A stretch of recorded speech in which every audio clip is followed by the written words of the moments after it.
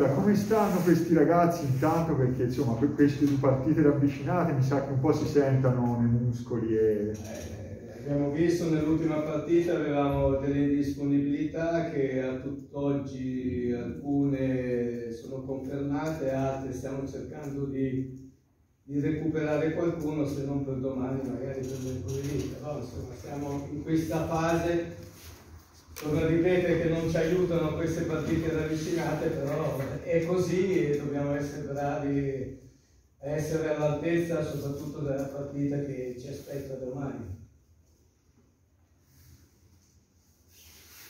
Ecco, de... mi sembra, no, anche un po' ritornando dietro a Teramo, che la, la, squadra dal punto di vista mentale abbia dato una, una prova importante, perché insomma anche nel, nel momento difficile, quando eh, gli, gli, avversari sono andati vicino a far gol e il Securino ha fatto un paio di miracoli, non hanno però mai perso la bussola, non ah, hanno mai perso...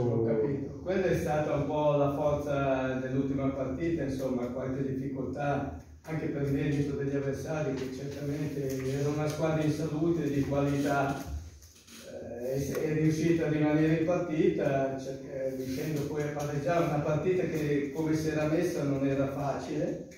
Perciò caratterialmente sotto l'aspetto dell'impegno, del cuore, dell'anima, io penso che la, la, squadra sta dimostrando in queste ultime partite di esserci, il problema è giocare sempre in modo ravvicinato, magari questa concentrazione deve rimanere, soprattutto perché poi giochiamo in casa e contro un avversario certamente di valore, però insomma noi adesso cercheremo in questi due o tre giorni, abbiamo cercato sia di recuperare forze, e di ripreparare questa partita che eh, ci aspetta un altro impegno difficile, ostico, perché giochiamo contro degli avversari che vengono da tantissimi risultati utili, testimonia che è una squadra organizzata che dispone di ottimi giocatori, ben allenata, di conseguenza insomma, ci aspetta un'altra partita difficile, bella eh, e noi dobbiamo dimostrare di meritare insomma, le ultime conferme anche la fiducia che in questo momento ci sta dando un po' tutto l'ambiente. Ecco. Io, cioè, sono dell'opinione che comunque, certo, le vittorie fanno, fanno piacere e, e, in classifica portano punti, e, eh, però io credo anche che eh, si debba comunque dare una continuità di risultati, ecco, sì, chiaro che vittoria sarebbe oro. Ma insomma, ecco, anche in queste tre partite, ecco, cercare comunque di non, eh, ecco, di, non eh, di, scam di, scom di scampare la, la, sconfitta comunque e cercare di tenere il passo anche delle altre squadre ah, che, che, sono nel gruppo. Ecco. Ho capito, la volontà è quella, insomma, è normale che non è che si va in campo per pareggiare o si va sempre in campo per cercare di far bene e magari di vincere, però la continuità dei, dei, risultati in questo momento è fondamentale perché poi eh, dà continuità, dà modo a tanti giocatori sia di recuperare che di migliorare la condizione, perciò l'ho detto dal primo giorno, più tempo riusciamo a guadagnare e più possiamo diventare una squadra che può giocarsela veramente con tutti. In questo momento un po' di problemi sotto questo aspetto abbiamo, però insomma dobbiamo supplire a tante cose attraverso l'atteggiamento, la volontà, la... anche il calore dei nostri tifosi, insomma in questo momento siamo una squadra che ha bisogno di qualcosa che però deve meritare sul campo, perciò sta a noi soprattutto eh, cercare di affrontare anche questo impegno nel modo giusto come abbiamo fatto sotto questo aspetto nelle ultime partite. Prima parlava dei giocatori da, da recuperare, Susciu c'è possibilità? C'è Susciu, Paolini, Bocic, insomma diciamo che forse quello meno in questo momento recuperabile può essere Bocic, però insomma perché non dobbiamo guardare solo domani, certo. dobbiamo guardare un po' anche un pochettino più avanti, l'importante è che poi avere a disposizione questi giocatori Diciamo che comunque in quell'aspetto lì dell'attaccante recuperiamo anche Pinzauti, perciò insomma un'alternativa in più l'abbiamo e perciò in questo momento purtroppo è così. Di Massimo comunque sta bene, sì. Il Massimo sì, ha avuto un problema anche lui dopo la partita, però mi sembra che abbia recuperato nelle ultime ore, anche stamattina in allenamento, quindi mi sembra che stia abbastanza bene. Ecco, dicevo un po' prima de- degli avversari della Caldaresi e le sue qualità, c'è qualcosa in particolare di loro che, che la preoccupa maggiormente? O Eh, un loro, diciamo, intanto il vantaggio di una squadra che da tanto i risultati lo testimoniano, che ha consolidato un certo tipo di gioco.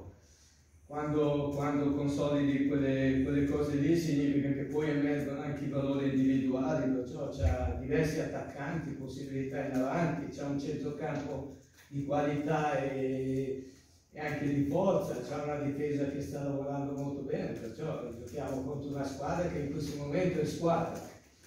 E perciò bisogna essere preparati e pronti ad affrontare un avversario di quel tipo. Questo non significa che, come ho sempre detto, noi cerchiamo anche di preparare la nostra partita, non è che ci adagiamo solo sugli avversari, però eh, teniamo conto anche delle, delle qualità con cui con la squadra con cui andiamo ad affrontare, perciò questa sta facendo un campionato e i risultati importanti, perciò noi, però noi nella nostra situazione dobbiamo guardarlo, però poi dipende molto da quello che riusciamo a fare noi sul campo, perciò l'attenzione lì è più rivolta anche nel preparare la squadra ad affrontare sia i problemi ma anche a cercare di creare difficoltà agli avversari.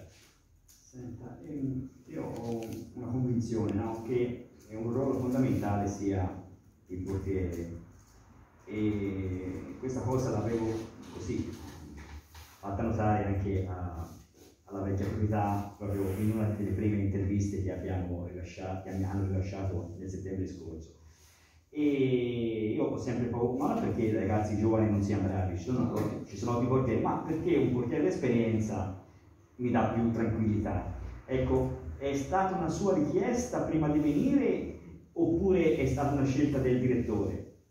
No, con il direttore ci confrontiamo spesso, lui sa come la penso, io so come ragiona lui, insomma cercavamo, abbiamo cercato, è normale in una situazione di questo tipo, anch'io negli anni passati ho giocato con il portiere giovane, però eh, e noi abbiamo due giovani bravi, però ci può stare che i giovani abbiano commettono qualche errore in più rispetto all'altro, non significa che il portiere esperto non possa commettere errori, anzi eh, lo può fare chiunque, però già mettere una certezza lì insomma è una cosa e dare un certo consolidamento a una squadra, insomma, poi come potrebbe essere la parte centrale, come può essere l'attacco, insomma, quando costruisci una squadra devi avere dei numeri in attacco, devi avere delle qualità in mezzo, devi- insomma tutta la verticale, come si diceva una volta, Eh, insomma, sì. diventa A fondamentale. quello mi riferivo, come c'è c'è una linea, no? Diceva che diventa fondamentale, questo non significa che non bisogna togliere eh, valore ai nostri No, giovani perché sono giovani che potrebbero avere anche una prospettiva futura, però insomma, nella nostra condizione abbiamo fatto questo tipo di valutazione che non era facile poi trovare anche eh, l'elemento giusto. Ecco. Partiamo da cioè noi eravamo anche in una, siamo in una situazione precaria, perciò anche i giocatori prima di venire insomma fanno le loro valutazioni. Certo, no, ma tra l'altro il nostro ex portiere di circa 20 anni fa, senza fare nomi, è, è stato allenatore dei portieri appunto anche di secoli e ne ne ha parlato in termini veramente positivi ecco, di questo ragazzo. Ecco. Quindi ecco, abbiamo anche delle, referenze bu- buone. No, no, certo, no, no, ma eh, io lo sto conoscendo adesso come ragazzo, come giocatore, perciò eh, siamo all'inizio, è un giocatore che sta dando un contributo importante, mi auguro che possa continuare. però i singoli, eh, adesso il portiere ha un ruolo un pochettino diverso, però come ho detto prima io sono convinto che se la squadra riesce ad avere la propria struttura, una propria identità da acquisire, poi emergono anche i valori individuali che ci possono essere in queste squadre che ci sono.